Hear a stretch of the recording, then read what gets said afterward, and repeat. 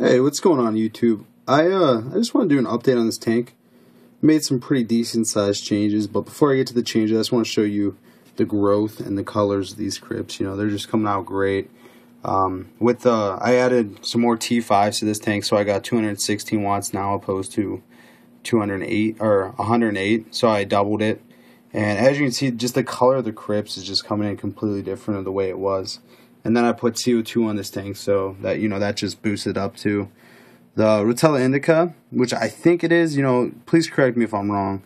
Uh, you know, it's coming in really good. It's just you know growing. I keep cutting it, putting it down, cutting it, putting it down, and I'm just hoping it gets real thick, takes over that corner, and you know it's just gonna look real good. It's gonna have a contrast to the all these crypts that are like a nice, uh, like dark majestic color. Or at least that's how I see it. I don't know, but yeah, this tank's going good. And then, you know, this guy right here is just the mama plant. She's just putting out uh, new crypts like, I don't know, I'd say she puts out a new one every two to three days. So pretty crazy. Um, a lot of fun off the dig in there, cut them up, replant them. I just want to wait as long as possible so I don't, you know, piss the mom plant off. But anyway, so this uh, this sword's coming back. It's uh, not doing great, but you know it's doing better. I think um, you know, just with the CO2 with the extra ferts I've been putting in, put another uh, root tab under it. I think it's it's helping, but it's a slow process. I just want to see how it turns out. Might get rid of it, don't really know. Uh, the Crypt spiralis doing well, uh, propagating as well, and you know, just really like this plant. Really, really like it. So, anyway, here's the change.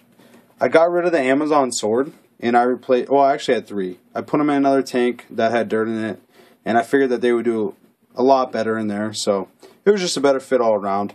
So this is actually Blyxa japonica, and I got this from Det Aquariums or Deta Aquariums, however you pronounce it. Um, great guy, you know, real good to work with. Sent me some really healthy plants. Gave me, uh, you know, big quantity of plants for a decent price. So you know, I definitely recommend him. He's a great guy. Got a good channel.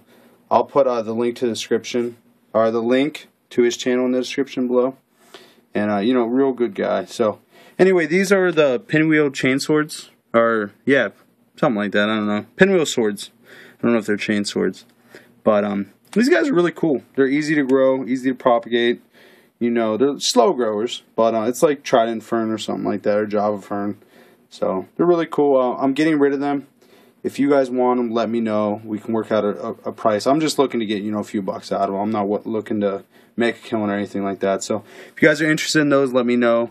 Um, this this empty space right here, once they're gone, I'm gonna do a carpet plant. Don't really know what yet, but um, I think it'll look really good. So that's what I'm gonna do with that. Water sprite going crazy. I am getting rid of the water sprite. I don't know. I might put it to a new part of the tank, but it really doesn't fit in well. And I ordered a whole bunch of uh, stem plants, and I'm gonna put them back there and the light went out, so I guess that's the video. So anyway, guys, thanks for watching, and stay tuned.